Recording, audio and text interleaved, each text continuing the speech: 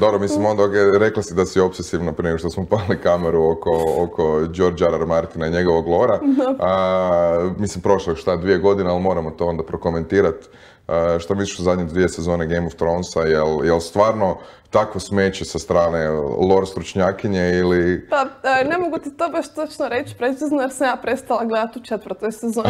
Kad se dogodilo nešto što je po meni bilo neoprostivo, pa jednostavno... U, što se dogodilo da je bilo pa, neoprostivo? Mislim, veza između Jamie i Tyriona koje uopće... Mislim da oni nisu pročitali knjigu i ja stojim pred tome da oni nisu ništa pročitali. Čekaj, dobro, ja nisam čitao knjige, tako da ne znam. Znači, koji je... Znači, što se, pa što da, se? Da, da se dogodila između dvoje braća, da se dogodila nekakva stvar koja ne može biti prebrođena nekakvim razgovorom i da je to zapravo jako puno mržnje između njih dvoje. To uopće nije bilo prikazano i mislim da je to jako bitno za uh, razvoj, uh, razvoj nekakvog likova u budućnosti. Znači ti, znači ti si bila, ti si bila frustrirana zato što su svi oni bili dobri? pa ne samo dobri, nego sad oni, onak, oni su si dobri, oni su si sve ok, ali onak, ne, ono, to nije poanta lika i onda, onda kako su svi znali da ja to jako volim, pa bi mi pisali poruke, onake se, onda se dogodilo ovo, onda se dogodilo, ja kažem, ono, nemoj mi molim te to govoriti, to ne želim znati više, onda mi neko kaže, stani si ubio svoju kćer, ja onak... Znači to ti je, ovaj, jel znaš da, kak se završava? Znam, da. Aha. Misliš o Deninom flip šitanju i paljenju Ma, mislim, Dubrovnika? Evo, evo, sad ću reći, ono, oni nisu pročitali knjige. to je to, da. to je to.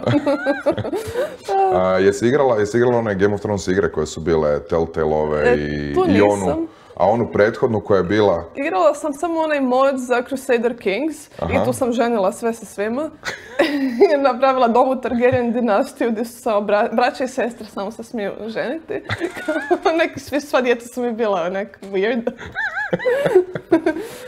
Ka, Crusader Kings je jako specifična igra zato što basically samo tipa ono tekstualno da i idemo... Ja obožavam tu igru, to mi je jedna od najražih igara i, ovaj, i da i rekao mi je uh, jako iz, koji sad radi u Paradoksu, rekao mi je shout out. Aha, shout out, shout out da, shout out, Jakub Denona. Crusader Kingsa. Što, što Crusader Kingsa čini toliko, toliko pa, toliko zabavnom igrom za igranje? Pa gle, ovako ja ću ti reći, ja sam ti nekad onaj tip osobe koji u nekakvoj igri kad vidi hrpu teksta, mm onda ide bla bla bla i ne pročitam ni dvije riječi. Crusader Kings, ja sve što god dođe na ekran, ja to mm onak izanaliziram, pročitam. To mi je toliko zanimljivo, toliko smiješno, toliko dobro napravljeno da uživam u svakom slovu te igre zapravo.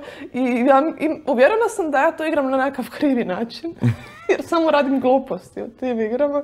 Onak, jedan put sam počela, idem kao, idem igrat Hrvatsku, kao, idem samo ratovat. I onda sam tam samo sranja radila. nije, nije, nije mi uspjelo. Onda je bilo nešto kao uh, you died ili znači uništila se Hrvatsku srednjovjekovno. Da, um, jesi, rekla si da si, da si modala ovo za, za Game of Thrones. Uh-huh. Um, je li inače, uh, voliš modat igre? Pa nisam se dugo tim bavila, ali zapravo sam tako počela raditi mhm. uh, u nekom game developmentu. Zapravo sve je nekako počelo od modanja Skyrima i Obliviona. I počelo je s nekom idejom da želim u Oblivionu imati dugu kosu. Aha. I, i tako je nekako to, još sam išla mislim u srednju školu. I onda sam uh, napravila onakvu rozu kosu koja se klipala u mog lika cijelo vrijeme. Ali znači očito nešto roza i ljubičasto ovaj. Da, da, da. Tako da, da, tako je to onak počelo, sam bila, u, gledaj kako tu stvari ima. I onda sam izmodala cijelu igru pa mi je komp se krešao i više se nikad nije mogao upaliti. znači ubila se komp jer se previše modala. Da. I tak sam počela raditi nekakve svoje level, onda sam napravila nekakav level koji je bio moj hideout uh u Skyrimu.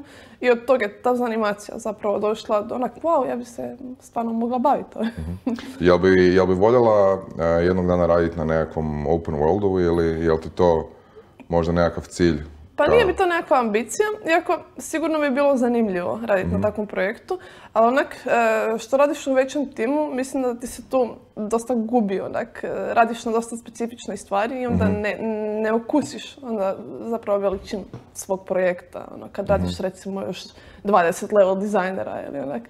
Pa ovaj, ne znam, e, bilo bi jako zanimljivo raditi na nekakvom tak velikom RPG-u, Mhm. ali sad nisam, nisam planirala to ono, za svoju budućnost, ne znam. Znači, ti na Golumu, znači, stvari nisi zadužena za, za komplet igru, nego ono, kao svaki, Svaki- svaki level designer, odnosno game designer ima, Ima svoj level za koji je odgovoran, da. Aha. I onda za komunikaciju sa e, art timom i sa programerima i skripterima isto komuniciraš jer kao to je tvoj baby zapravo.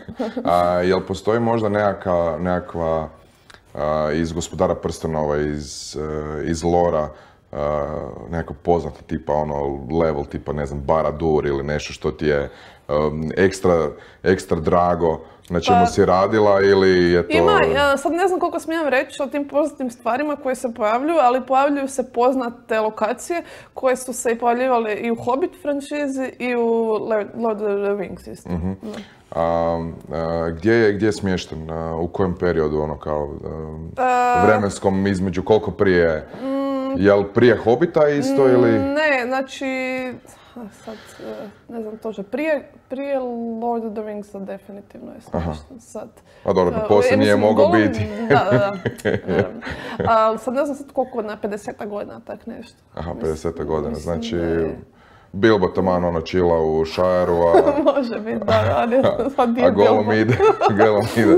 E, jel postoje nekakve, e, znam da su to bili u najavama po- pokazivali, i uvijek će tu biti nekakva, nekakva dihotomija između, između Smigola, između Smigola i Goluma. A, da, to će biti Ovaj, jako izraženo. Jel, e, kako u ovom dijelu na kojem, na kojem ti radiš, jel, jel postoji tipa neki način na koji možeš pristupiti levelu drugčije ako si više ono, Da. golum nego smigal ili smigal nego golum? Da, i to ide više iz e, na- narativnog dizajna, Mhm. jer te odluke ti ovise o nekakvim stvarima kako će se odigrati ili kad scene ili e, interakcija sa drugim likovima, e, sa NPC-evima.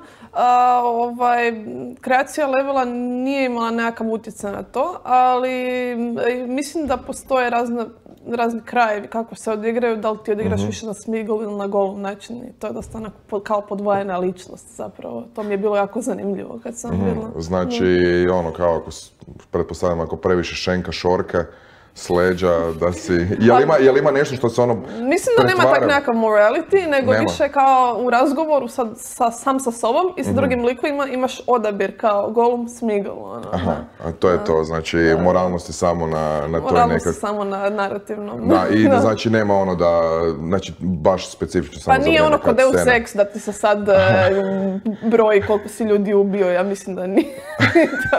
Jer, e, da, mislim da bi to bilo malo previše, ali Mhm. zanimljivo je bilo.